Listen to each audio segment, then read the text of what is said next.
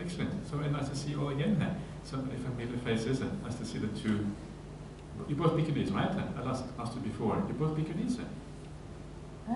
Are you both Bhikkhu, Bhikkhuni? Yes. Bhikkhuni. Yeah, okay, that's why I, I just need to check again because I, my memory, my memory getting bad now, getting old, so my memory fading away. it Makes it very hard. Yeah. So uh, it's always nice to see so many familiar faces because it means you're coming back every year, means you are kind of on the same path, yeah? And the Buddhist path is such that it takes a long time to get really good results from this practice. It's always nice to see people coming back. It means that you're kind of headed in the right direction, which is uh, wonderful. Uh, and I have been a monk for, what is it, 25 years, something like that. Uh, so uh, it's quite a, quite a while. Um, so that's also a kind of a good sign because it means that you are kind of heading in the right direction. That's great. So this retreat is going to be very similar to the retreats I've had in previous years. And how many people are new here? Who, who was here for the first time? Yeah, okay, I don't recognize you. You, you as well? Okay, you uh, over there. Okay, okay, good. Welcome. Uh, so this is going to be one of the, I'm disciple of Ajahn Brahm. You heard Ajahn Brahm? Yeah, everyone's heard of Ajahn Brahm. It's just very hard to find anyone in the Buddhist community who hasn't. So because Ajahn Brahm is my teacher, I tend to teach just like Ajahn Brahm. I'm like a clone clone of Ajahn Brahm, yeah? like identical DNA, absolutely saying the same things. So, so the idea, this is the way Ajahn Brahm has always taught the Buddhist path of meditation practice, is to relax, to enjoy, to have a good time when doing meditation. This is kind of the, uh, if you like, one of the root principles uh, of what Buddhism is all about. And if you think about the Buddhist teachings, uh, it's all about, often about dukkha, dukkha being suffering, and of course, the reason why we want to talk about dukkha is that's how we can discover the opposite. The opposite of dukkha is sukha. Sukha is happiness. That's kind of the point of it. Yeah, is kind of the purpose. So if we create too much suffering in the meditation practice, uh, already we're going in the wrong direction. So uh, this is good news for you in case you thought this was going to be some hardcore torture retreat. It's not going to be hardcore torture. It's going to be very gentle and, soft and, nice, hopefully. Uh, that's kind of the theory. Anyway, the practice, you never know what's going to happen. That's the kind of the theory behind this. Uh. So the idea of these uh, retreats is uh, to combine the suttas. The suttas are the discourses of the Buddha, yeah, the Buddha's teachings, and combine that with meditation practice. and this is very helpful in many ways. It is helpful because if you read the suttas in the right way, one of the things I want to try to get out of the suttas is how inspiring they can be. Yeah, how not only inspiring but informative, and how uh, how uplifting they can be. And when you read do, read something or study something uplifting, yeah, it actually enables the meditation practice. Uh, this is kind of the point. If you feel inspired, you feel uplifted, that is when meditation starts to happen. And then when meditation starts to happen, and you read the suttas again, uh, then the suttas are more meaningful uh, because your mind is more peaceful uh, and you have more clarity about what is going on. Uh. and then when you, so that, that you read the suttas more deeply, and then that inspires you even more, and then you meditate even better. It kind of has this cascading effect. Uh. again, that's the theory. Uh. the practice is, is always different. Yeah? It never works out exactly as it does in, in theory. That's kind of how it's supposed to work. Yeah? So, um, uh, and so this is kind of the uh, idea, so we'll see how things go. Uh, and uh, there is a schedule, as you would have seen, and this schedule, I always say, is a schedule that you can use to your own benefit. So just feel what feels right for you, and don't feel obliged to do anything in particular. Yeah, if you hate my talks, don't come to my talks. So just stay back in your room or whatever. It's okay. Yeah, we're all different. Uh, you don't have to. You don't have to like my talks. There's no obligation at all. Uh, and uh, you're very welcome just to relax a bit extra do whatever you whatever you like. So uh, use the schedule as a guideline. Don't use it as a straitjacket that you have to follow this, you know, this, this regime or whatever, uh, and then you will be on the right track. Yeah. There's a few things I uh, would recommend you, however, and that is to keep at the, I don't know about the eight precepts, but uh, here somewhere, I'm going to have lunch after midday anyway, uh, so if you want to eat a little bit in the afternoon, I'm not going to, I, don't really, I, I, don't really care, but if you want to keep the eight precepts, it can be very useful and very supportive for the practice. Uh, so if lunch is up to two o'clock, then it's like seven and then three quarters precept, yeah?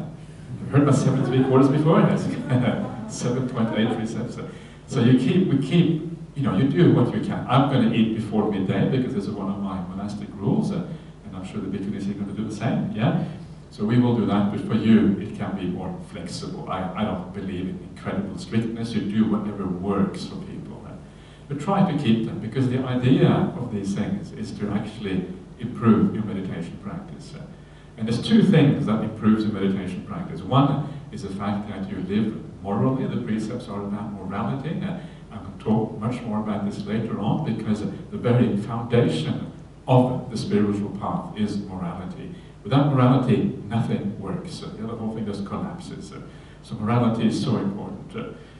And the other part of the spiritual path is restraint. Yeah, some degree of restraint in the area of the five senses. Because if you are too interested in the five senses and all the objects of the world, the food, the uh, entertainment, or whatever, it means your mind goes out into that world. Uh, is interest in that world. But he would try to do the opposite, we're trying to bring the mind inside. Uh, so too much interest in the external world stops you from being able to withdraw inside of yourself uh, and then develop the mind instead. So this is why we keep these precepts. And this is also why uh, I would recommend you, if you can, to keep what you call noble silence. Uh, yeah, try not to talk too much. Uh, and uh, because I, talking just agitates the mind. Yeah, you will notice that sometimes you just want to talk, and the reason why you want to talk is because the mind is already kind of running very fast. So by not talking, you're allowing, giving the mind a chance to calm down and to be more peaceful. If you keep on talking, you're just encouraging yourself to keep on thinking. It never comes to an end in that way. So if you can be have that noble silence, especially if you start enjoying it, yeah. One of the problems is that if you're noble silent but you don't enjoy it, it becomes problematic because it becomes like uh, very tense and unpleasant. So try to enjoy it. Think of it as something positive. Think of it as a gift that you give to your other meditators here. Yeah, I'm going to give you the gift of silence. Uh, everyone can calm down. Everyone can feel more at ease uh, It becomes even more beautiful as a consequence. Uh. So the idea of generosity, of course, a very important part of Buddhism. And one way of being generous is to be quiet so everyone else can enjoy the quiet. Uh, and uh, just another way of looking at the idea of generosity. Yeah. So uh, that is my encouragement. What you ultimately do is entirely up to you. you know, I'm not going to judge you if you don't do these things. And that's not the way Buddhism is supposed to work do whatever you feel comfortable with. And just an encouragement on my part. So I thought it might be nice again to talk a little bit about the Buddhist suttas. I'm going to talk about meditation practice in a minute.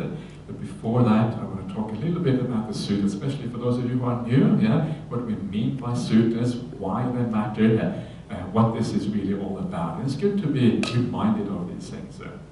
And when we talk about the suttas, uh, then we are really talking about the word of the Buddha.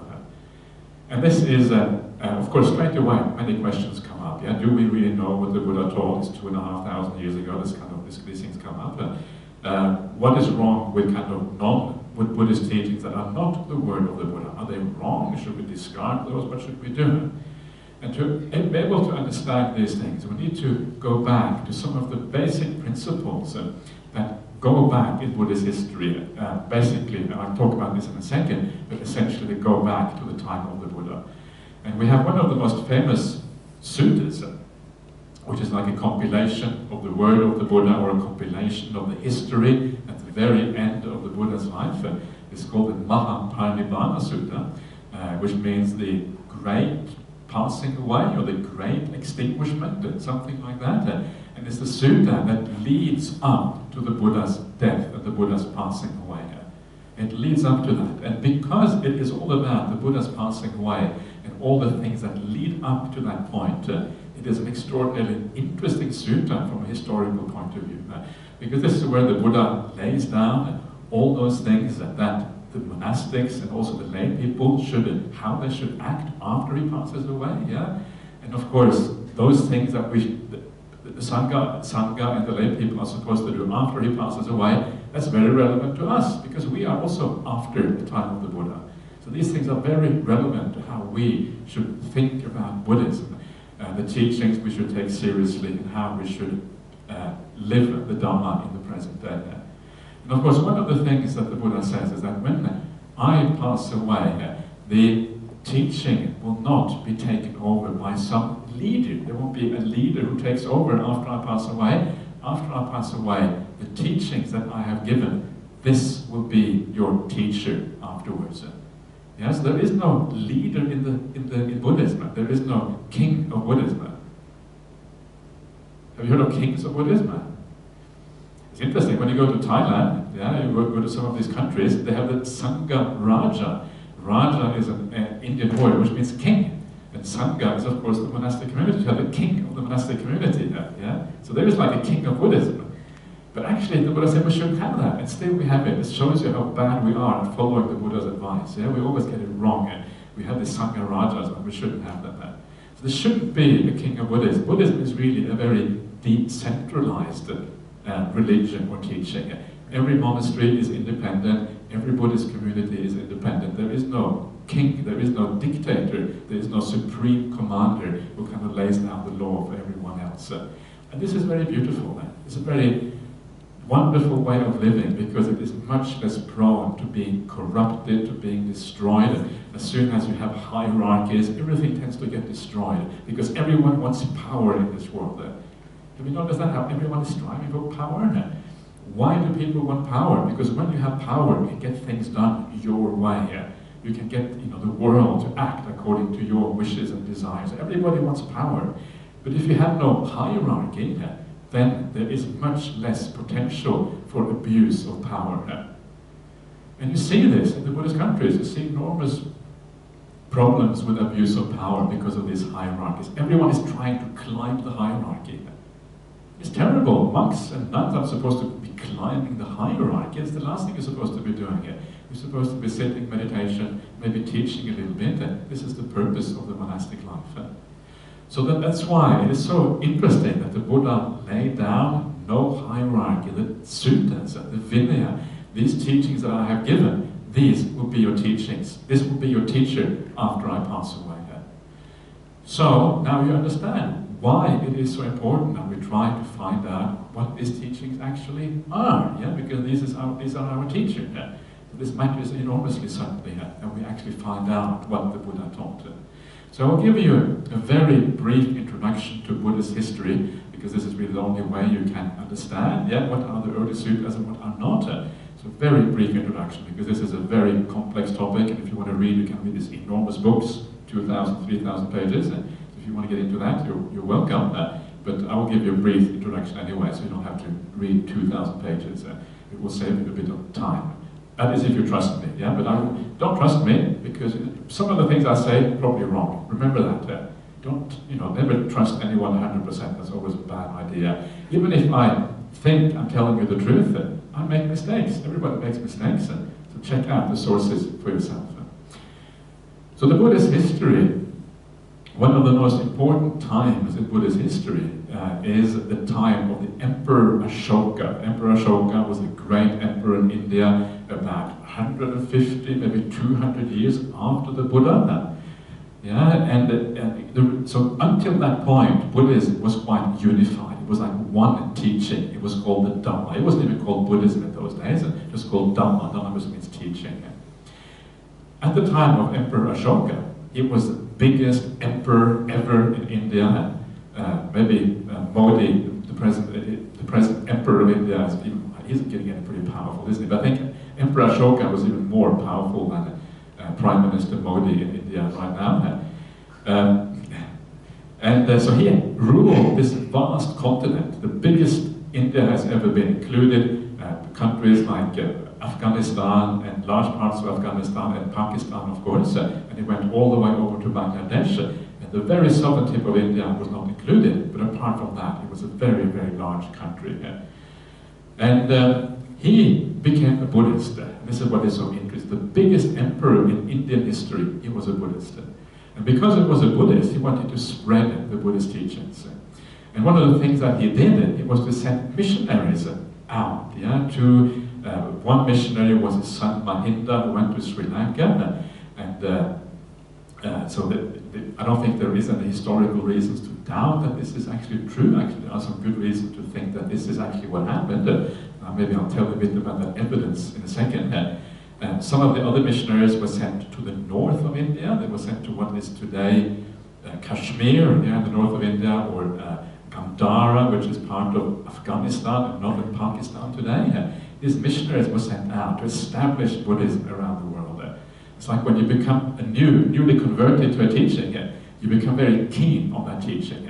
It's like when I was a young monk, I wanted to convert my parents. Yeah? It's like that because you want to convert the whole world. This is the best. You want to convert everyone. This is how it works. Of course, it's very silly because it, the surest way to turn off your parents is to try to convert them. That's kind of the last thing you should do. That. But I learned that very quickly, fortunately. Yeah. But anyway, Ashoka was like that. He was like a young monk, recently converted, convert the whole world. So he sent all these missionaries out there. And these uh, stories of these missionaries are very interesting. They are found in a Pali work called the Samantapasadika, which is a commentary on the this monastic discipline, and it is found there, and you find the names of the various people. Some were sent to Sri Lanka, some to Kashmir, some to Gandhara, etc. And what is fascinating is that uh, about um, uh, maybe 20 years ago, uh, there was an English, a British archaeologist who was working in India. And in India, they have, you may have heard about the very famous stupas at Sanchi, I've heard about the stupas at Sanchi? Yeah, very, very famous stupas, very beautiful, lots of beautiful carvings of the Jataka tales and all of these things. Uh, some of the most beautiful art in all of India you find at Sanchi. So if you ever go to India, many here have been on a pilgrimage to India before now? Anyone been to India? Yeah, okay, okay, good. So quite a few, few of you have been to India. I've been to India many times, but never to Sanchi.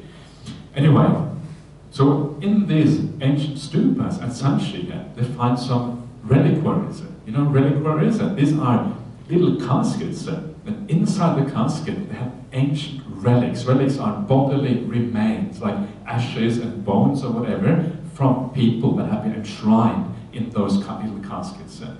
And these caskets, they have inscriptions on them, yeah? We know that they're very ancient because they were found in an archaeological site that goes back over 2,000 years to know that these things are very, very ancient. And then when they read the inscriptions on these ancient caskets that were found at Sanchi, the names on those caskets, uh, they matched the names I was talking about before in the Samantapasadika, the Pali, this ancient Pali commentary. Yeah, isn't that kind of amazing? One is a book written in Sri Lanka, which is 2,000 kilometers away from Sanchi. Another one are reliquaries of ancient saints buried in India 2,000 years ago. And then when you compare them today, there is a good match between those names. And this is the kind of evidence that makes us you know, believe or makes us think with a very rational basis that these stories that we sometimes read about, they are real. This is historical fact. At the time of Ashoka, there was a big missionary movement because those missionaries are mentioned in different places that were very, very far apart. So what does this mean in practice? What it means is that Buddhism was established in different places, uh, in Gandhara and Sri Lanka. This is about 3,000 kilometers. Today, 3,000 kilometers is nothing. I just came from Perth. When did I come? This morning. I arrived this morning, that's right. Okay, forgotten already. It seems like I was here only yesterday. It's like coming back. You come back to a place where you've been before. It feels like you're back, you know. It doesn't feel like it's a year ago, but anyway, it is. A, it actually is a year ago. so, and today very easy, but at the time of in, in ancient India, 3,000 kilometers takes a long time to, co to cover 3,000 kilometers. You can walk, or you can go by ox cart.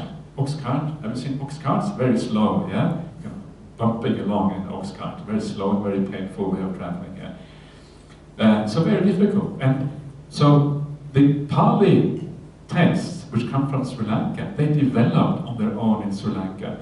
Whereas the other texts that developed in Kashmir, they were developed in a different school of Buddhism, because once you have this geographical dispersion, you get different schools. Get the Sarvastivada school, the Dharmaguptika schools. You also had other schools that were more in central India, like the Mahasangikas and the Mahi, uh, Mahishasakas and, and other schools. But the most interesting ones are the Sarvastivadin and Dharmaguptika, which were in the north of India, and then the Pali school, the Theravada, which was in Sri Lanka. They were 3,000 kilometers apart, and they collected the teachings of the Buddha separately, individually, only about 150 years after the time of the Buddha. So, the suttas in Sri Lanka, they eventually became the Pali canon, and the suttas that were collected in Kashmir and Gandhara, they went with the Silk Road, they went into China. Yeah, I guess maybe not maybe not Hong Kong, because Hong Kong is too far south. The Silk Road would come in in Xi'an, yeah, in the north India, Luoyang, that, that area, would come in through there, and then it would be translated into ancient Chinese, yeah, and then those scriptures are still available now in ancient Chinese or they call it, I think they call it Middle Chinese because ancient Chinese even older, but whatever you call it, it's a very old dialect of Chinese. Uh, yeah, and the characters were used slightly differently, so you have to be a specialist to be able to read these things and all of that. Uh. So what is, you can see here how these schools diverged enormously, but both of them supposedly kept the word of the Buddha. And this is the important point here. So if you take the Pali text uh, and you translate the Pali text into English, uh, and then you take the ancient Chinese text, it's called the Agamas. Uh, it's a very small part of the Chinese canon, because the Chinese canon is so enormous. The tiny part, it's only about three volumes. We ha I happen to have it at Bodhinyana Monastery. Nobody can read it. We just have it there. It just kind of sits there. Oh, that's the Agamas. Oh, that's really cool. Can anyone read it? No, can't read it. this is kind of how things really work. Can you read? Oh, can you read Agamas? No, not really. Can anyone here read ancient Chinese? No, no. Okay. Are you sure? Yeah. You can read. Ah, you can read, of course. Yeah. Okay. Good. So, uh, and what is so nice? We have some scholars, very good scholars who translate, like Venerable Analayo. You know Venerable? Yeah. yeah. So they, yeah. And so, what is so, so astonishing about this? You translate from the Pali into English. Uh, you translate from the Chinese into English, uh, and you compare, and you recognize these are the same sutras. Uh. Yeah, these are the same sutras. Sometimes they are verbatim the same, almost word by word, exactly the same, after 2,300 years. Uh, one translated into Chinese, another one kept in the Pali language. They have been apart for 2,300 years, uh, and still they are the same sutras. Uh. So what that means is that those people who looked after these sutras, they were incredibly conservative. They realized that they were dealing with the word of the Buddha. We have to look after it carefully because this is very precious. This is like the uh, inheritance uh, or the thing that the Buddha bequeathed to humanity. Of course, we have to look after this. So they did. They were very conservative. Yeah. And this goes back to the time of Ashoka, and there's another 150 years, maybe 200 years to the time of the Buddha that conservatism would have gone, obviously, would have gone all the way back to the time of the Buddha. There's no reason to think that they would have been different before that. So what that means is that we have the word of the Buddha in the present day. This is like the historical evidence, and it's pretty solid historical evidence uh, that we still have the word of the Buddha. So for this reason, we know what the word of the Buddha is, we know what is not the word of the Buddha, yeah? And the Buddha said we should take his suttas as our teacher after his passing away. He specifically said that later generations, they will be listening to all his disciples. Yeah? They will be forgetting about the word of the Buddha. They will listen to the disciples instead. Yeah? People like, people like me. Yeah? listening to me, or listening to Ajahn Brahm, or listening to Ajahn Chah, or listening to uh, Sayadaw so-and-so, listening to Rinpoche so-and-so, and all of these things. That's what people listen to these days. And they forget that actually the real standard for what is Buddhism is the word of the Buddha. I'm not saying you shouldn't listen to other teachers. Of course you should, because uh, very often you have to to get access. Uh, but you should always remember that the word of the Buddha is in the final analysis. That is real Buddhism. And everything else is maybe right, Sometimes it's really off, got nothing to do with Buddhism at all, but people still say, sadhu, sadhu, sadhu, what a wonderful teaching, uh, not really knowing what they're talking about. Uh, very common, yeah? It's uh, very strange, it's very easy. You travel to Buddhist countries sometimes, you know, and people are so respectful of monks. I don't know, Hong Kong, Hong Kong people are maybe a bit more balanced, but in some countries, they're super duper respectful. And as soon as you open your mouth, whatever you say, whatever rubbish comes out, people say, oh, sadhu, sadhu, what a wonderful teaching. I think, oh no, that was the, it's, it's, sometimes it's too easy. So we need to reflect, we need to actually be honest about where these real teachings are. So this is what I'm going to focus on, are these teachings of the Buddha. This is what is going to be the focus. And uh, so hopefully you will feel a bit inspired. They can become a bit drier, and this is the advantage of having someone teach them, because you can kind of spruce them up a little bit to make them a bit more interesting. Especially when you have a teacher like Ajahn Brahm, he's always very good at making things interesting. Always uh, pepper in a lot of jokes. You know that ancient, perhaps an old Tibetan saying, is that you, uh, you, you tell them a few good stories, uh, and when their mouth is open, yeah, they're laughing so loudly, ha ha ha, that's when you throw in the pin of wisdom. And there's some truth to that, yeah, because when you are laughing, when you are relaxing, when you are enjoying yourself, you are, you are relaxed, you are at ease, and when you are at ease, that's when you can listen to the teachings. If you're not at ease, if you're tense, it's very hard to take on board any teaching, let alone profound spiritual teachings. So that is a, just a bit of background for you about why I like to do things this way, because I like to get straight to the Buddha's teachings himself.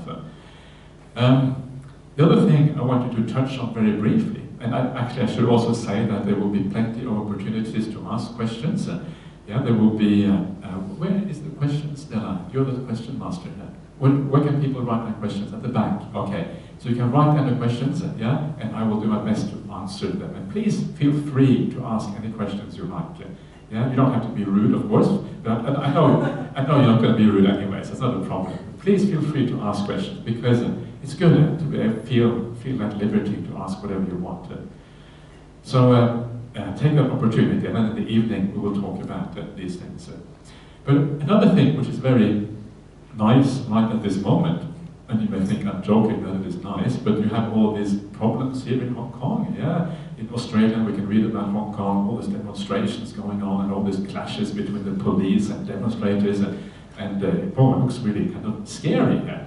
And uh, I got an email from Gerald, they were oh, they're cancelling all these talk, Buddhist talks and things in Hong Kong because uh, people think it's the wrong time, you know, to come to Hong Kong and teach, especially if it is a very large venue, maybe when there's hundreds of thousands of people coming. here. But actually, it is really the other way around. It is when you have suffering, when you have problems, when the world is going wrong, that is a really good time to have spiritual teachings. Because when the world goes wrong, you understand the limitations of the world. You understand it can only take you so far. It will always be a degree of suffering and problems in the world. What is the future of Hong Kong? It's very uncertain, isn't it? how is it, I mean, in the end, the, the, Chinese government is obviously very, very strong. So in the end, it's going to be basically the Chinese system uh, in mainland China is going to be, be here in Hong Kong.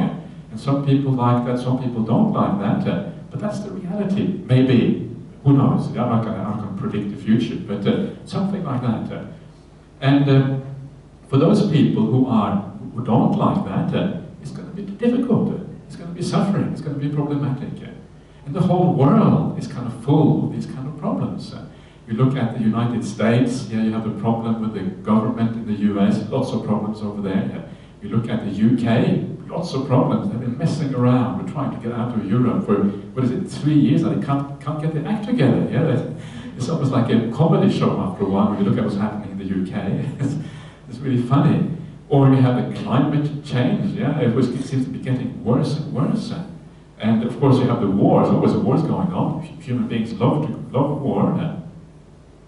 Isn't that right? We love to go to war, but we also suffer enormously as a consequence. So there's all these problems going on, and Hong Kong has its own share, share of problems. And this is a very powerful reminder of the limitations of the world. We don't know the future. We don't know what's going to happen next. We don't know when the next world war might happen. All of these things are possible. We don't know when we're going to die personally. And uh, because of this, because of this inherent problem of the world, it means that once we get that, we get that at times of difficulty like now, once we start to get that, we start to understand if you want to be happy, if you want a state, a, kind of stability in our life, if you want something more profound, we have to turn our attention somewhere else. And that somewhere else is, of course, to the spiritual path. Because the spiritual path is very different from the ordinary worldly path. If we rely on our happiness because of how society is run, to have the right government, to, for things to work out in, uh, our, in, you know, in the right way, we're always going to be miserable because society is never going to work out exactly the way you want it to. This is just the nature of society. This is one of the core teachings of the Buddha, the idea of anicca, of instability, of impermanence, of unreliability. Yeah? So instead, we look at the inner world because the inner world is something we can do something about. Every one of us has an ability to develop our own mind, to be kind, to have the right kind of intentions. So we start to focus instead on that area in life where we have some degree of control, where we can actually do something. We understand the problems of the external world and we start to move inside instead. And this is the power of living at a time when there is problems. Yeah, it opens our eyes to the limitations of the world. There. So nothing is really lost if we react to it in the right way. Actually, a lot can be gained from a little bit of suffering, even a lot of suffering. It's how we deal with it that really matters. And if you deal with it in the right way, then it's going to be very beneficial rather than being something which is problematic. It's very strange because we think that we know what is beneficial. We think that when everything goes well and everything is fine, that's beneficial. That's what people tend to think. Yeah, yeah everything is going well. But actually, when things go well, we tend to become heedless. We tend to think, yeah, yeah, everything is going well, just carry on, nothing to think about. And we become stupid because things are going well. It's actually when things are difficult that we start to think, that we start to reflect, and we start to change our attitude to the world that is really when spiritual development becomes more possible. It's always about an insight into suffering, an insight into the problems of the world. So uh, I'm probably I'm going to talk more about this later on because this is a very important point. Yeah. So uh, and uh, so it's good, and obviously every one of you who are here, you have some appreciation of the spiritual life already. Otherwise, you wouldn't be here. No point in being here if you didn't have any appreciation of the spiritual life. So you already have some of this appreciation there. So you're already basically on the right track. And this just reinforces that, that whole idea. So, um, now let us uh, change the track a little bit. Uh, and um, I'm going to talk a little bit about meditation practice. Uh, because that is kind of the root idea of this retreat. Uh, let's give you some advice on how to get your meditation together. And this will be like the main teaching on meditation that I give here tonight. And then I will reinforce that by giving guided meditations during the retreat. Uh, so that's enough as far as background is concerned, and now let's get on to the more meaty part of what, uh, what this retreat is about. So one of the, to start off, one of the things that you see in the suttas again and again when it comes to meditation practice uh, is that uh, uh there's always a basis, there's something, meditation is always founded on something else. So meditation is not a stand-alone thing that you do without any kind of support from other factors. Uh, the, no, the Buddhist path is a noble eightfold path. It has eight factors. It is not the one-fold path, the meditation path. Sometimes you read about mindfulness movement, you might think there's only a one-fold path. Mindfulness is everything there is, and everything else is irrelevant. But actually, no, there's an eightfold path. there.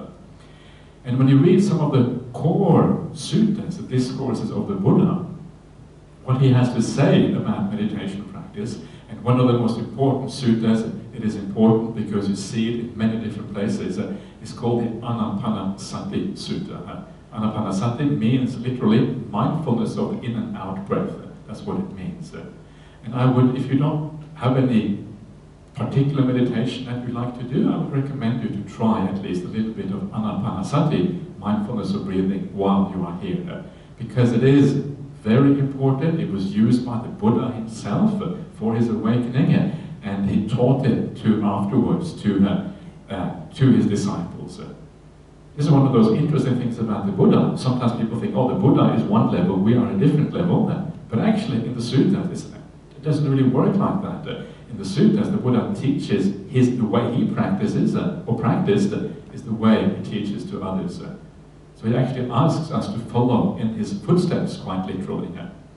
So when you read the sutta, the discourse on anapanasati, on mindfulness of breathing, yeah, the Buddha doesn't say sit down and watch your breath straight away.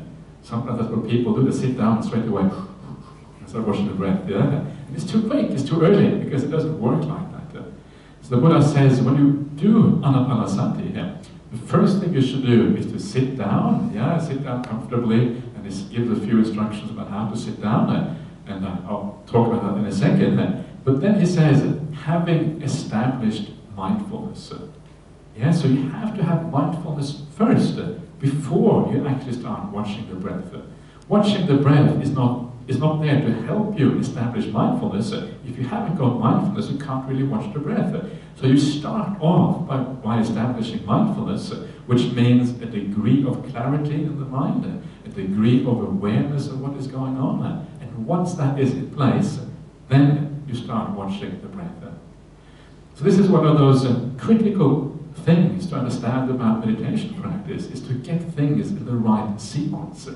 If we don't understand the sequence of how things are developed, if we start with things that are too advanced, if you come here and say, yeah, this route I'm going to get enlightened, or this route I'm going to get jhanas or whatever, already you are on the wrong track. Yeah, we don't really don't really think like that when it comes to Buddhist meditation practice. Instead, you say, okay, I'm going to start off, establish mindfulness, then watch the breath and see what happens. That's a more realistic attitude toward these things. So get the sequence right. Uh, establish mindfulness first of all. Uh, another important sutta is the Satipatthana Sutta, which many of you probably have heard about. Yeah, it's kind of used very frequently to as a meditation instruction. Uh, and Satipatthana Sutta says exactly the same thing. In the introduction, it says you have to be satima, and satima means having mindfulness. You cannot do Satipatthana practice without establishing mindfulness first. This is kind of the prerequisite for a meditation practice in all circumstances. So this is already very useful. Yeah, get the sequence right. Know know the right time, and then you will be getting much more out of this meditation practice. So how do we do this? And uh, the starting point, a good starting point, is to start with the idea of the middle way. I'm going to talk about meditation pretty much as I always talk about it. Uh, start out with the idea of the middle way. Uh, this is the very first teaching of the Buddha uh, after his awakening, according to the story as we have it in the suttas. Uh, he goes and meets the five monks who were supported before him. And here the first thing he tells them is, I have discovered this middle path. Yeah, and of course this middle path is forgotten by the vast majority of Buddhists because, I don't know why, but because I think the human mind has a tendency to veer, we tend to veer to extremes, yeah? We tend to like a bit of self-torment, I don't know why, but we seem to kind of enjoy that. Uh, or we veer too far towards the pleasures of the world. In both cases, it doesn't work. Yeah? So remember the middle way. And the biggest danger on a retreat like this, because we are often used to a more comfortable life at home, the biggest danger is to torment yourself too much. Have to try to sit and to kind of force yourself into sitting for an hour or two hours and, and endure pains and all of these kind of things. Uh, please don't do that because basically it doesn't work.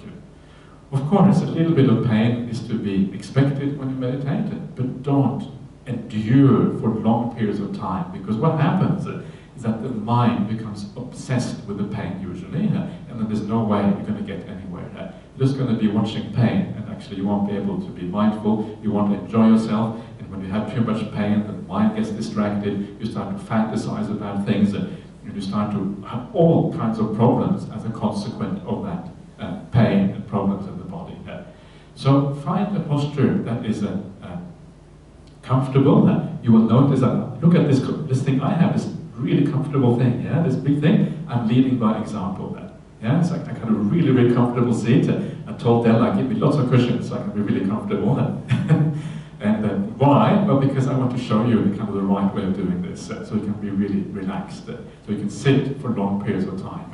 so find a posture that is at ease, you can feel comfortable, and you can enjoy yourself. And you will find that after sitting a while, you will start to get pains regardless Yeah, this human body is really useless. It's full of pains and problems all the time. Uh, it's one of the, you know, sometimes this is why people want to get reborn in the heaven realm and get rid of these human bodies that are so, so problematic. Uh, uh, that's a separate topic, of course. Uh, but uh, uh, so if you feel pain after a while, change your posture. You don't have to sit 100% still all the time. You move after half an hour, it's not going to have a very big impact on your meditation if you do it carefully and gently. It is okay to sit in different kinds of postures. Sometimes you can sit cross-legged, sometimes you can sit on a chair, yeah? sometimes you can lean against the wall or lean against the back here, sometimes you can lie down. We have some people lie, lie did we have some? No, some retreat centers, they have like, have a, you know, a, a sofa or something in the back, people lying on the sofa and sitting that. And, and it was interesting. This, this fellow, he was lying on the sofa. I said, wow, it was so good. I got my best meditation when I was lying on the sofa. And I thought, cool, yeah, you have understood something. And he was probably getting so much pain in his body, he just had to lie down, and he got some really good meditation. And this is like some of the best meditators I know, they actually lie down sometimes, and they get very good meditation as a consequence. Uh, because when you lie down, you can relax. Of course, you can also fall asleep, but that's a, that's a, that's a different kind of thing. So, you know, you may, but even if you fall asleep, at least you at least you're relaxed. Yeah, you can't really falling asleep. Sometimes you, you need that just to kind of chill out a little bit before the meditation comes together. Yeah. So use your posture wisely here. The wise posture, the good posture, is the one where you don't have too much pain. You're not forcing yourself too much. You're not forcing yourself into this extreme that the Buddha is talking about. The other side of the uh, the middle way is where you indulge too much. Is, well, you're not going to be able to indulge too much here. Yeah, hopefully, hopefully not. I hope you don't. Probably not. Yeah, you're going to be you're going to follow these precepts roughly, and you're going to be practicing here. So there's more danger of falling into the torment and to fall into the other side. Uh, so because of that, uh, uh watch out for the self-torment most of all. Uh. and what happens if you get this right? Uh, if you find that this balance right, where you don't indulge too much in the body and you don't torment the body, yeah, the consequence of that is that uh, the body becomes irrelevant. Uh, yeah? We are interested in the body because it gives us pleasure. Yeah, we eat or we do whatever. It gives us pleasure on the one hand, or we're interested in the body uh, because there is pain in the body. We want to get rid of the pain. This is why the body is interesting. But if there is no pain and there's no pleasure in the body, the body becomes irrelevant. And when the body becomes irrelevant, when the body, then the body starts to fade away and you are left with the mind. And mental development is one way of thinking about the spiritual path. It's actually a word used by the Buddha a lot in the sutras. Chitta bhavana. Chitta bhavana means literally development of the mind. That's what it means. So this is what it's about. And to develop the mind, you've got to get the body out of the way. This is how you get the body out of the way. That middle path where the body is irrelevant. Does it make sense? Yeah, it makes sense, doesn't it? It's kind of obvious when you think about it. And yet, we still make that mistake all the time. If you go on meditation retreats, uh, sometimes people make this mistake. So much. Some of these meditation retreats, 90% of people never come back again. Yeah? It's true. That is true. Why? Because it's so painful. Yeah. And uh, here we have a bit more success because I a bit more people coming back, which is nice. Uh, so, and this is terrible because the Buddhist path, the spiritual path, has so much potential. We want to encourage people to come back and not lose that potential which the path actually has. So this is the very first point, middle path, Majjhima Patipada is the Pali word for the middle path. And uh, it's nice to have some monastics here because you know these Pali words. Uh, so you can vouch for my, my truth. I'm not going to mess, I'm not pretending, I'm actually telling the real thing. You, you, you, you know Pali quite well, is that right? Yeah? You know Pali as well? Yeah? Little bit, okay. Ancient Chinese and Pali, wow, that's really pretty, pretty powerful. There. These are the really educated, educated people. There. So this is the first thing. Yeah? The second uh, thing on this path is to remember to keep it very simple. Yeah, mindfulness of breathing. Breathing is not a very complicated thing. Yeah, I mean we breathe all the time. It's not a problem. It's very simple. Uh, so the reason why it is still hard, or the reason why it doesn't work, is again because our mind is not really prepared. Yeah, but the actual thing, the meditation, is a very, very simple thing. Once you get it, you think, what could be simpler than watching the breath? Our lives are usually so complicated, uh, but meditation is one of the simplest things you can do. Uh, So don't overcomplicate it. Yeah, just allow things to be. Don't try to make things be. Don't try to. We are so used to making things be in our lives, creating things, uh, forcing ourselves to watch the breath, working really hard, using the willpower. Here, it is a very different thing that we're supposed to do. That is to withdraw that willpower from our uh, meditation practice and just allow things to be. Uh, simple, very, very simple, simplify to the maximum. And uh, this is uh, encapsulated very nicely in the Buddhist uh, sutta. There's a very beautiful sutta called the Cetana Sutta from the Anguttara Nikaya. Uh, if you don't know what I'm talking about, it's okay, don't worry too much about it. Uh, this is just a certain uh, sutta, certain discourses by the Buddha that I'm talking about. and, and according to this Cetana Sutta, the Buddha specifically says that the progress in meditation cannot be made to happen through an act of will. Specifically, na chetanaya karaniya is Anguttara Tens number two. And na chetanaya karaniya means not to be done by the will. Chetana is the will, is intention. What that means is that if you use will, if it cannot be done by will, if you use the will, you're not going to get there. It's not going to work.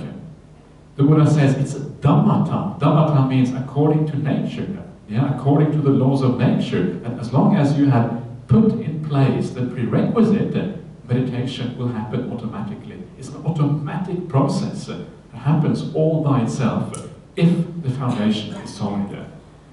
What is that foundation? And this foundation I'm going to talk about more later. The foundation is basically two things. Two things that are required for meditation to work. One is right view, thinking about the world, the world in the right way. And the other one is uh, virtue or morality. These are the two critical things that make meditation possible. If you have the right kind of view and you have a very powerful moral conduct, meditation will happen. If your meditation is not happening, that's where you have to look for the solution. It is not about, am I watching the breath in the right way? Sometimes people think, oh, am I watching the breath in the right way? Should I watch it differently? How many ways are there to watch the breath? It goes in, it goes out. You know, you can you can only do so much with the breath. It's not kind of a magic trick to watch the breath in one way or another one. Uh, so you, uh, it's simple, it's basic. All you have to do is stand back, allow the process to unfold, and not do very much. And this is especially important at the beginning, because at the beginning, when you come here, uh, you probably all, many of you probably come from work, yeah, have a long long weeks of work and then you have all this protest happening, all these problems going on. You probably a bit tired, you come here, and uh, when you're tired, first of all, the mind may think a lot, or you, after thinking a lot, your might get even more tired and you feel fall asleep maybe. So if you snore in here, please snore. Yeah? If you snore, we're going to have compassion on you. Yeah, well done, you're snoring. It's really nice to snore in public. Yeah, it's like really unself-conscious, just. so don't, don't have any, don't get upset if someone is snoring, have compassion instead. This is one of those critical things in a community like this, always have compassion and kindness for the people around you. So just allow it to be, allow it to unfold. And if it means falling asleep, so be it. If it means the mind thinking, so be it.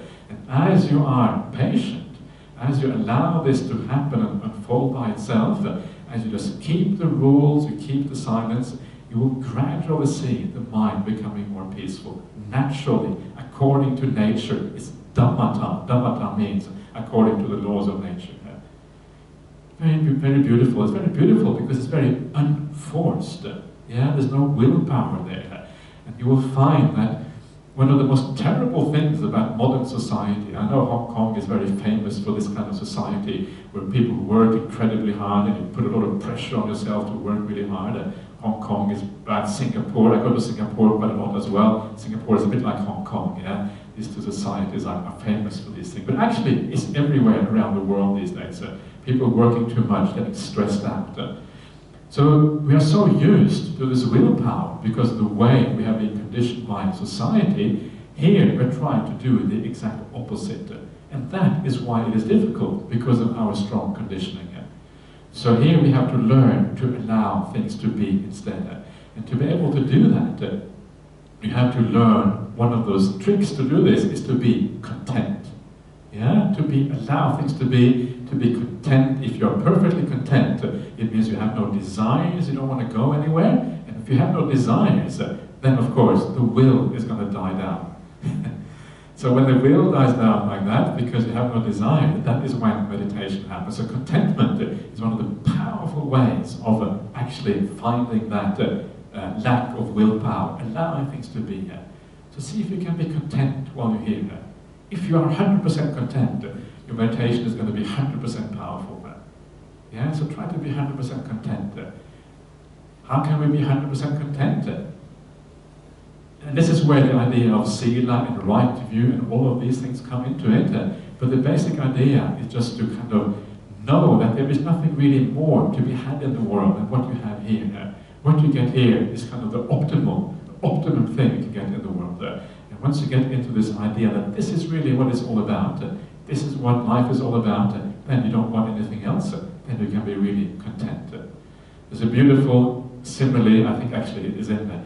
Did you get those sutras printed out? Have you got the sutras? Yeah, okay. Uh, it's actually in there, the sim. I'll talk about it later on. Uh, there's a beautiful simile in the sutras about contentment. Uh, and it's for the monastics. It says that you are content. You're just like a bird with its, with its wings as its only burden. Yeah, beautiful idea of a, like a bird. You're free. You're soaring in the sky. And the only burden you have are the wings. And of course, the wings are part of the bird, so it isn't much of a burden at all. In the same way, you are here. You have nothing. You have a simple life. You don't have very much, but you are free because you are content with that. You don't want anything more. So see if you can get into this idea of contentment on this retreat. Enjoy what you have. Enjoy the good company. This is one of the most important things to be content, is to enjoy the good company. Uh, yeah?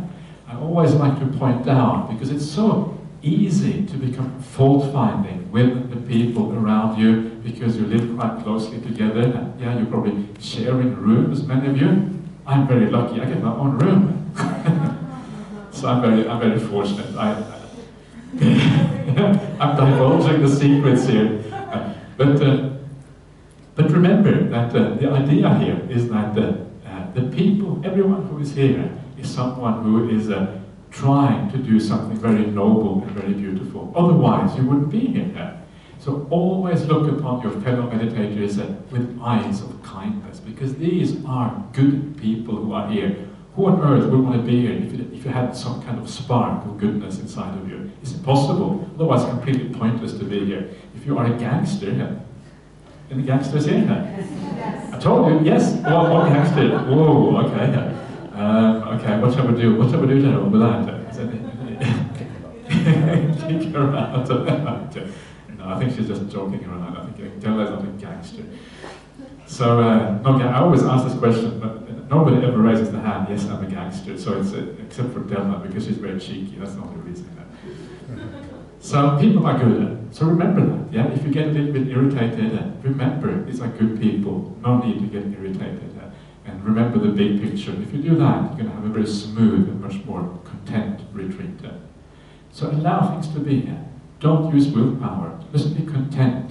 Go with the flow of things. One of the things in the world we always try to go against the flow, we use our willpower to get our way. Doesn't work in meditation. Meditation, you have to allow things to arise naturally. And as you do that, there's a magical thing that happens as you do that, and as you do that, mindfulness starts to arise. And mindfulness is a very simple thing. Mindfulness is a, uh, when you start to get become more aware, yeah, you start to get a feeling for what is happening, you start to know, you know, know what is going on. And sometimes, if you're not mindful and you're thinking about things, you're kind of in the stream of your thought, fully occupied with those thoughts, without having any kind of external view as to what is going on. You don't really know that you're thinking, it's just going on and on and on. And suddenly you say, oh, I'm thinking, wow, And that's when mindfulness kicks in, when you are aware that you're being carried on, carried along in these thoughts, in these fantasies, or whatever they are. So mindfulness is this awareness of what is happening.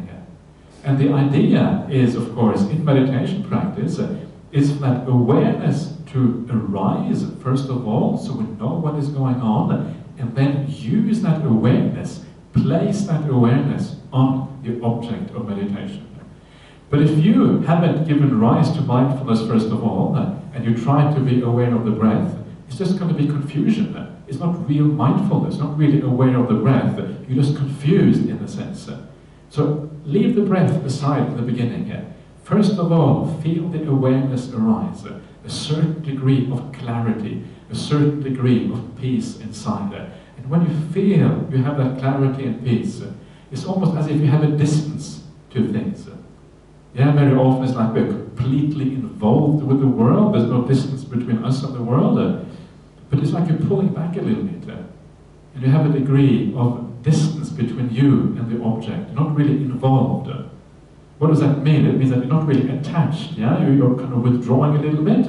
It's like if you have really strong mindfulness and someone does something to upset you, you don't react because you're just observing. When you're just observing, there's no reaction is really possible. So if you get someone who kind of yells at you and tells you off, you're just observing, you think, oh yeah, this person is yelling. You know, that, that's, how you, that's how it feels if you have really strong mindfulness, because you have withdrawn, you no longer have that strong tie or bond to that person who is there. This is how you know you're mindful. You have withdrawn a little bit, you have awareness, and you have a degree of clarity in your mind. And when that arises, that is when meditation becomes possible. So mindfulness arises, it comes in a large number of degrees. The idea is to make it as powerful as possible. And you do that through this path I've been talking about now, just by being aware, just by allowing things to be, especially in the beginning, not doing anything, and allowing it to come about. There's two things in particular that stop you from being mindful. And those two things are the past and the future. Yeah? when you, uh, the mind kind of starts to think, it is usually about the past or the future. Uh, so how can we get rid of the baggage of the past and the future? You may have heard Ajahn Brahm talk about the two suitcases. One suitcase is the past, the other one is the future, and we carry these around with us, really heavy suitcases, yeah? And we wonder why the world is so full of pain. Well, it's because we carry the suitcases. Let them go. Don't carry suitcases around everywhere. You can imagine if you, as soon as you get up in the morning, you grab these two really heavy suitcases you carry them with you all day. That's what we're doing. This is kind of carrying the future and the past with us. Uh. So we need to let go of those suitcases. Uh. And when you do that, you find yourself becoming light and bright inside. Uh. The mind becomes light because you're not carrying these heavy burdens with you anymore. So how can we do that? And I'll give you just a couple of indications of how to give uh, rid of these thoughts about the past and the future. So the future, uh, the reason that we uh, think, think about the future, okay, no problems, yeah, just uh,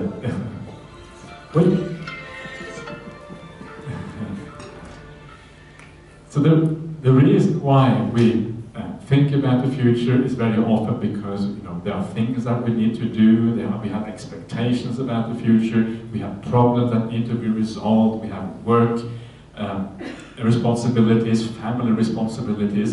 So the future is always about resolving things, trying to work out the world, to make the world be in a certain way. We can control the world or control our lives. And this is what thinking about the future is about. But uh, this, is why uh, the protests you've had in Hong Kong over the last few months are so useful as a lesson in how to deal with the future, because it shows you that it is so unreliable. But, yeah, how uncertain is it? When, if, if you get upset by these protests, or you get upset by the government, you get upset by both, or you get upset in general, whatever it is, it's because you had a different expectation.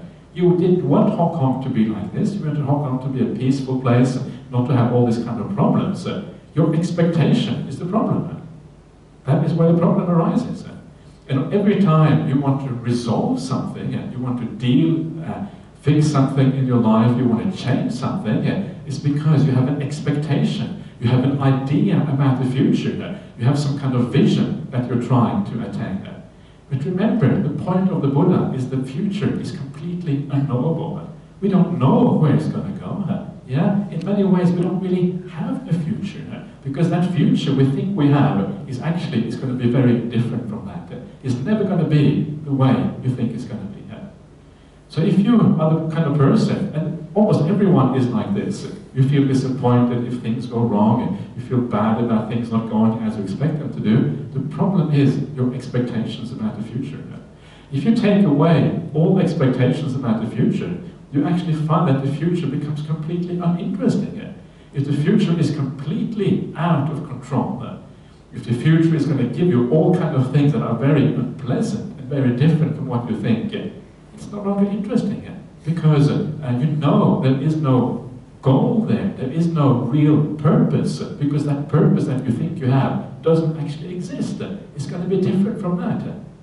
Once there is no goal, once there is no real aim in the future, and this I'm going to talk more about this later on, the future is kind of becomes irrelevant. Yeah?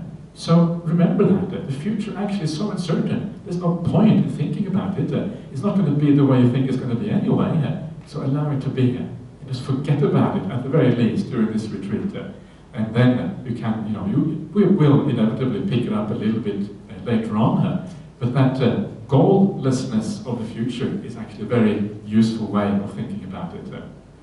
And especially if you think about Buddhism in the kind of very broad picture, the idea of rebirth and all of these kind of things, uh, and the idea that there's no goal in Buddhism, we're just kind of wandering on and on and on, doing the same stupid things again and again and again. Silly, silly things, a better word is silly. Yeah. Then uh, we, you, you lose interest uh, because it is quite pointless, the whole exercise. Uh. So that is the future. Uh, yeah? There's nothing there to really be looked forward to because it is just too uncertain. What about the past? And the way a lot of thinking is also about the past. We think about how people treated us, uh, what they said to us, they weren't nice, they said the wrong thing, or maybe you, you have a, maybe you feel guilty or bad about something you said or you did, so you think about that. Uh, yeah, it's always really in relation to other people, usually, when we think about the past. Uh. So one of the most important things to do if you find yourself being preoccupied with the past is to learn to forgive. When you forgive in a deep way, then you also let go. Letting go and forgiving are just two sides of the same coin. So learn to forgive the past. And the way to do that is uh, to remember that almost everybody in this world, uh, if they do something which is bad, if they do something which is wrong, uh, it is not because they want to be bad people, uh, it is because they have been conditioned in a certain way. Yeah, if someone talks to you in a nasty and unpleasant way, it's because of their inner conditioning.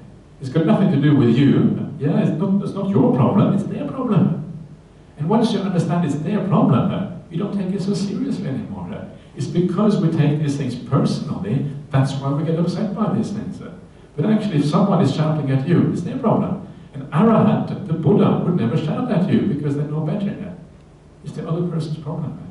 And once you understand that they are trapped in that problem, uh, they are trapped in their own delusion, they are trapped in their own darkness, uh, they are trapped in their own conditioning, uh, they are trapped in this program. They're like robots running on a program. Yeah? And because they're like robots running on a program, they can't help themselves from being stupid, from being silly, from being deluded, from doing all kinds of bad things. It's very powerful. So I, you know, when it comes to Hong Kong, I don't, I'm a Buddhist monk, I don't really take sides in these kind of issues because it's a political issue. But whatever it is, if you are angry with the police, or you're angry with the demonstrators, or you're angry with both, or you're angry with whatever, yeah, remember, they're all just like robots. Yeah, they're all carrying out this program that is written inside of them. Yeah, and because of that, there's no need to be angry. There's no need to kind of tell anyone off. It is just nature playing out. And when you see people in this way, you can forgive everybody. There's no one in the world you can't forgive. It's a very beautiful way of looking at the world because it means that uh, uh, you can go with the flow and you can allow things to be. And And next time people, someone is shouting at you, just look at them. and say, you, you, just kind of, you don't, don't say anything, because if you say something, you make it worse. But you kind of think, oh, actually, this person, they have a problem. Maybe I can be kind to them in the future to kind of, you know, help them out or whatever. That is the right way of thinking about other people who have this kind of problem. Very beautiful way of living, and it makes you able to also forgive yourself uh, because you start to realize that you too are conditioned very strongly. It feels like we have free will, it feels like we can do whatever we want. That's because you don't really understand yourself very well. The more carefully you look at yourself, the more you realize how conditioned you are. Whether there is a little bit of free will or not is kind of irrelevant. The vast majority is conditioning here. Yeah? And this is kind of the issue here. Then you can forgive yourself. When you can forgive others and you can forgive yourself, you become so free. Yeah, it's so freeing. Yeah? And all the bad things you did in the past, okay, you shrug your shoulders. It's okay. I will just condition. I will do better in the future. Yeah, you don't think I'm just conditioned so I can do bad things in the future. That's not how you think. Yeah? You're thinking I'm conditioned, and now I will reprogram that conditioning so I don't make the same mistakes in the future. But you don't judge yourself in a bad way. This is the way you forgive. And then when you forgive like this, you can let go. You can come on this retreat, let the past be here, and then you can become peaceful inside. And then the meditation is going to work. So that is how to uh, improve that mindfulness even further, make it even more powerful. Yeah?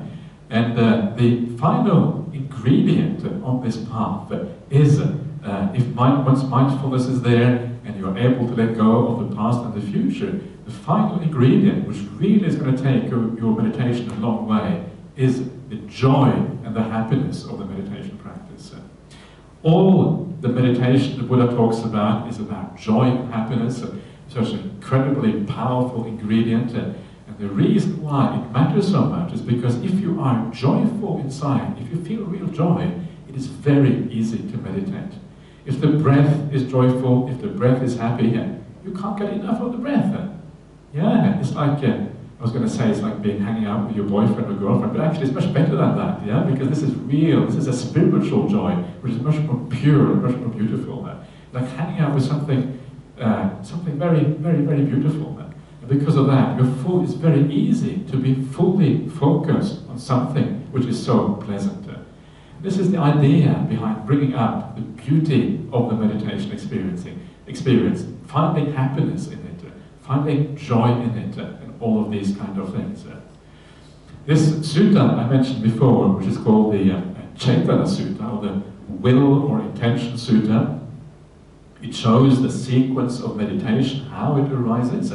Starts off with sila, which is like virtue, morality, then it goes to non-remorse, which is like the second one. Uh, and then from there, all the factors are about happiness. From non-remorse comes pamojja. Pamojja means like gladness, it's a kind of joy.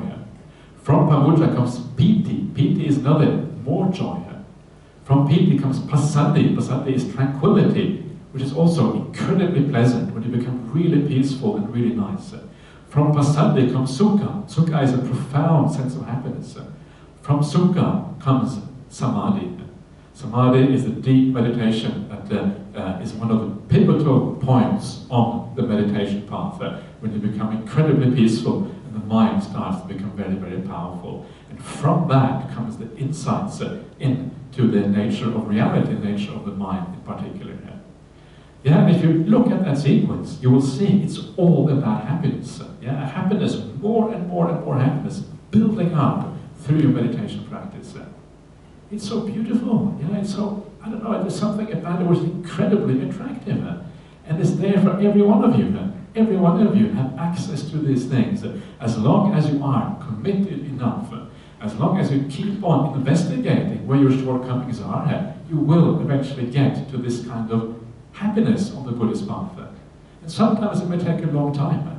but it doesn't matter how long it takes, because this is about the very meaning of life itself. Uh, when you get to these things, you start to realize, actually, this is what I've been looking for all along. Uh, everything I was looking for in the external world, you find inside of yourself, right here, in meditation practice.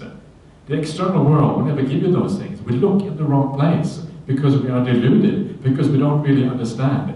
Turn your attention around, practice it the right way, you find everything inside of yourself.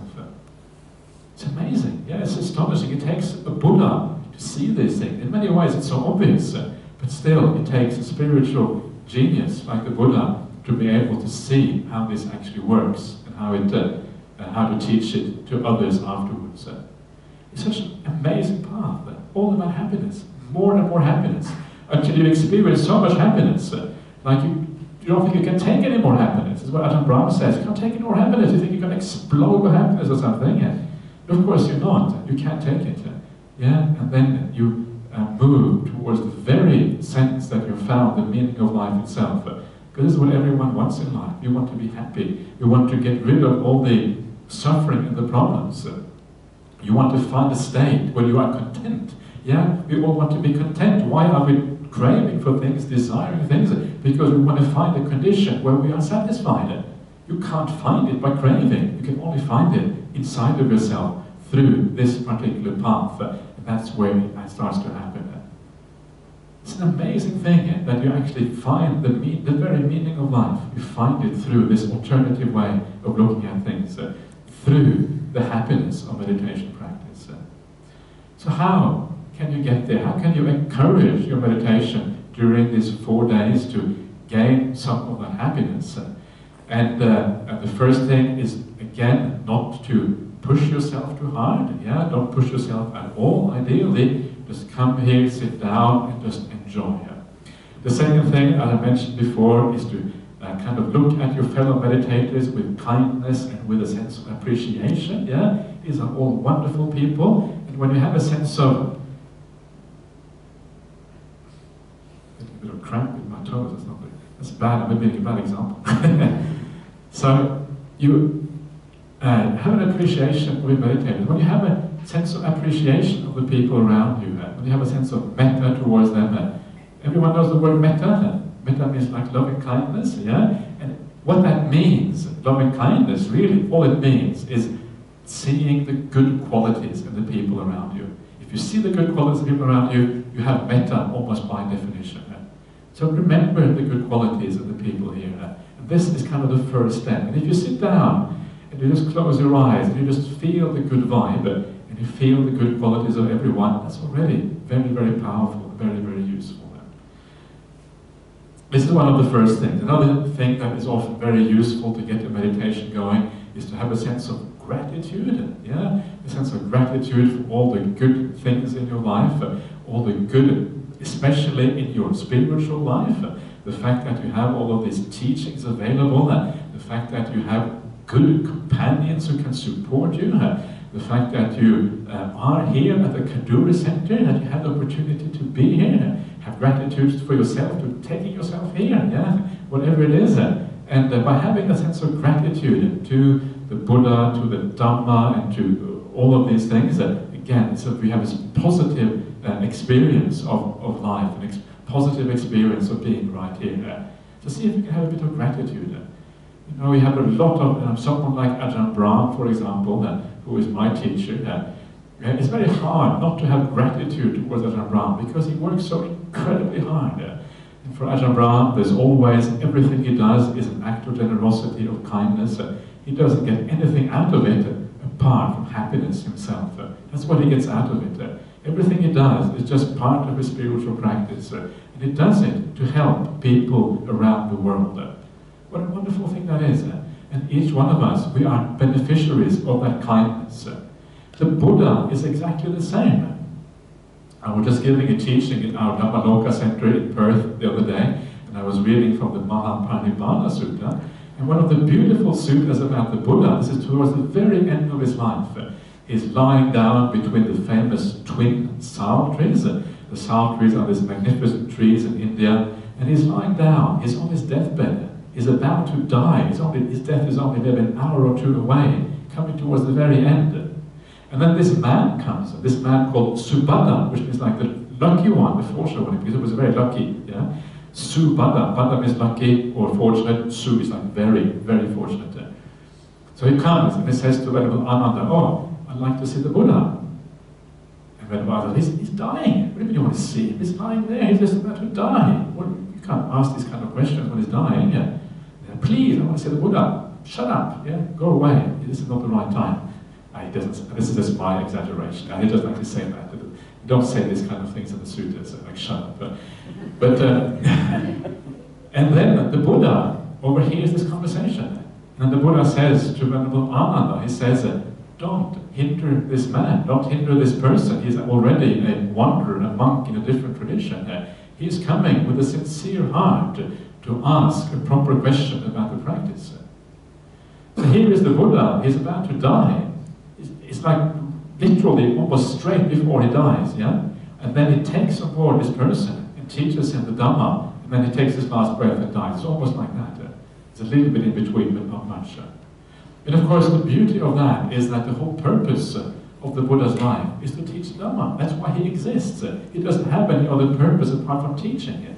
Everything he does is out of compassion, out of kindness for the world around him. Uh, it's so beautiful. Yeah, it's such a wonderful example. So when you think about the Buddha like that, all he did, he lived his life for the compassion of other people, to be kind. He taught people through his very last breath to help them.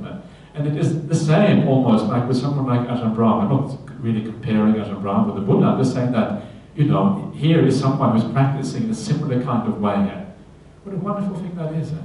When you think like that, and we have this beautiful teachers in our life who have supported us in this way, these wonderful teachings, uh, it can give rise to a sense of gratitude uh, for having these things available to us. Uh.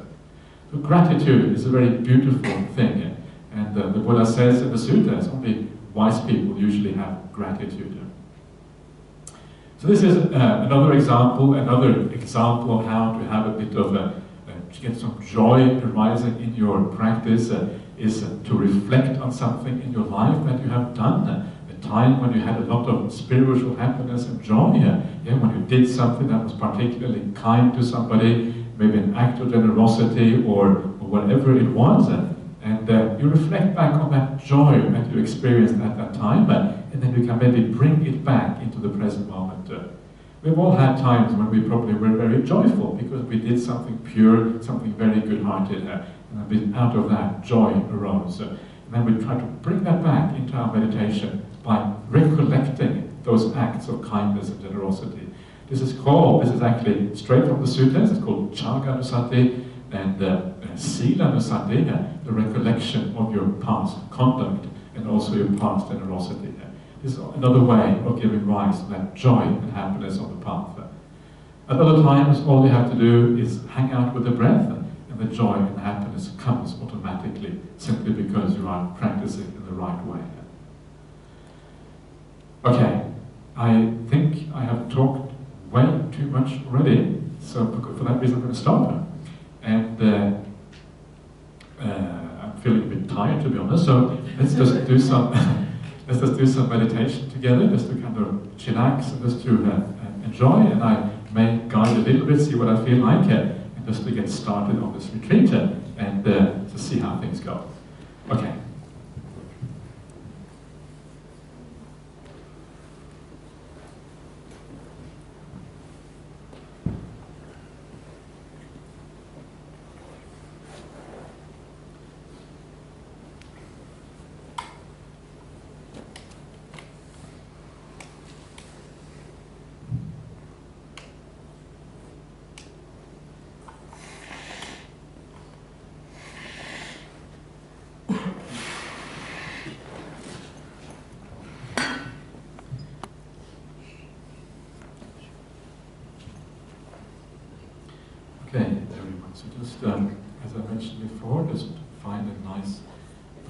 Yourself, a posture you can hold for maybe, I don't know, we'll see how things go, maybe half an hour or maybe a little bit longer, and we'll see how the meditation goes. And uh, so just a comfortable posture. Now is a good time to grab a chair or whatever if you want to do so. And uh, so you can sit for half an hour without too much of a problem.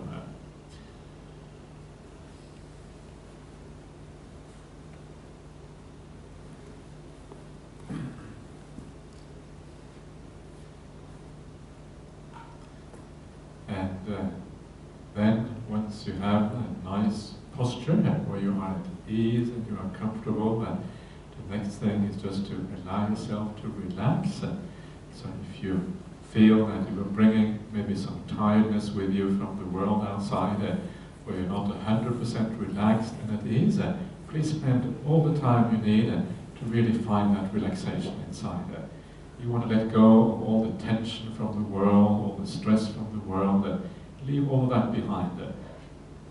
And the best way to do that is just to be patient, to relax, to be kind to yourself, uh, and allow these things to kind of fall uh, by the wayside, fall into the background, fall away, and then uh, you should be on the right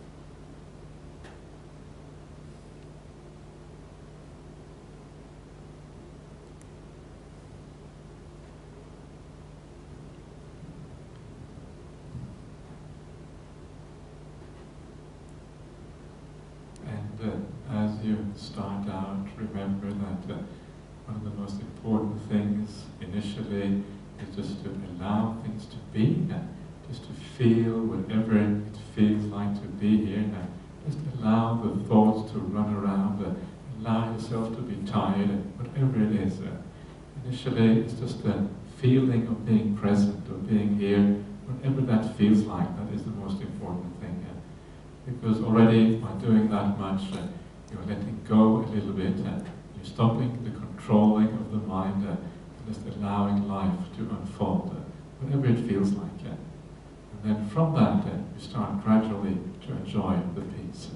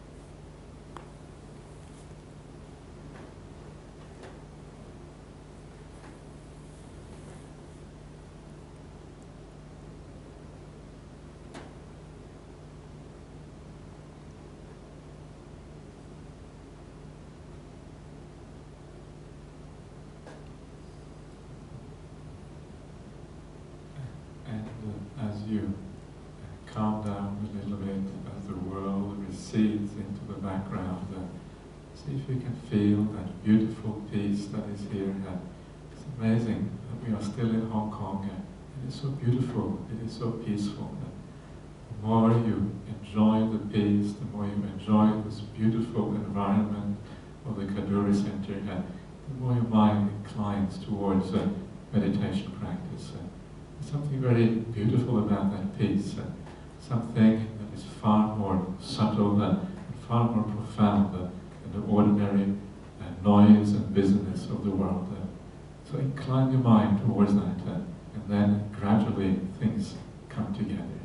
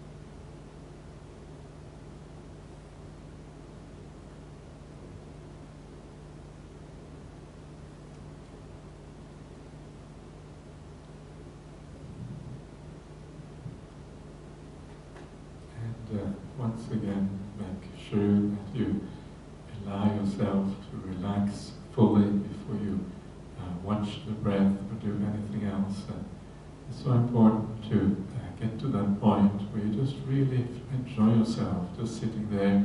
You don't want to do anything else in the whole world except sitting down and being peaceful. There's something very attractive and beautiful about that. Uh, so just allow that to happen.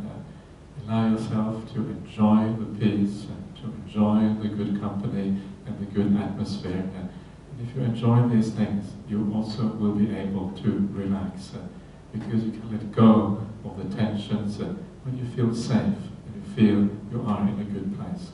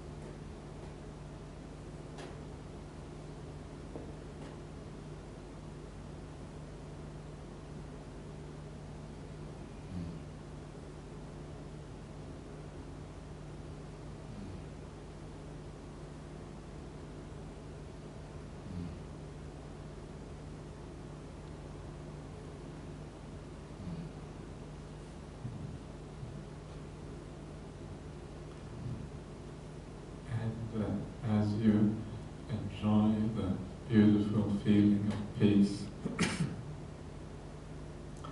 and tranquility outside. Uh, invite, it, invite that peace into your mind, mind and heart, uh, and allow it to just spread inside of you, to permeate your mind and permeate your heart.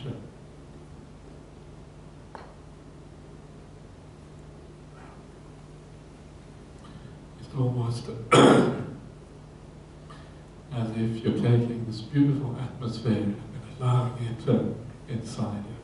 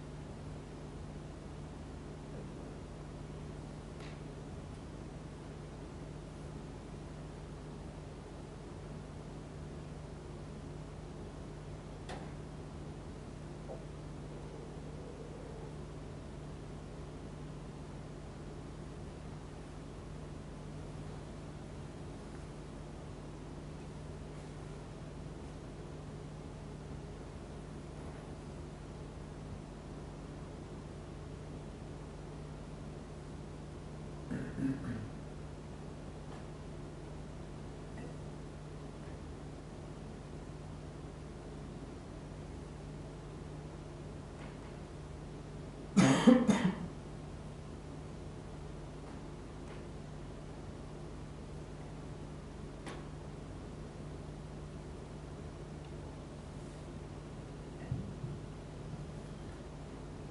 uh, such a privilege to be able to just sit quietly and peacefully. Uh, and when you regard it as a privilege, uh, as something positive, uh, associate it with very positive emotions. Uh, maybe even have a sense of gratitude uh, just for the ability being able to be here. And when you have this kind of attitude, uh, the meditation is going to go a long way. We're coming close now to the end of the meditation. Uh, I'm going to ring the gong three times, uh, and when the gong stops ringing the third time, uh, that is the time to come out of your meditation.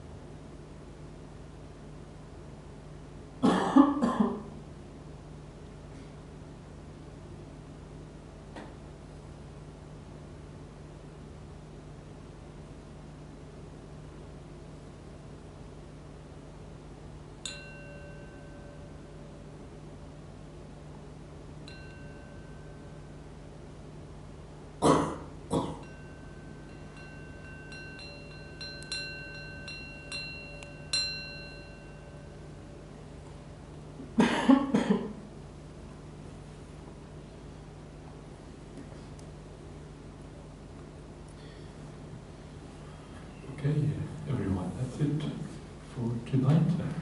So maybe we can just end off by paying respect to the Buddha Dhamma Sangha, to the Arahant Samma Sambuddho, and uh, then have a good night's sleep, have a good night's rest, and uh, if you feel like sleeping in tomorrow morning, please do whatever you feel is appropriate, uh, so get a good rest. Uh, I myself, I will probably be down here, I'm not sure, maybe around 6 o'clock or something, and, and if you want to continue sitting then you're very welcome to come around that time. So we'll see you back again tomorrow morning. Let's do the Arahant Samma Sambuddho together.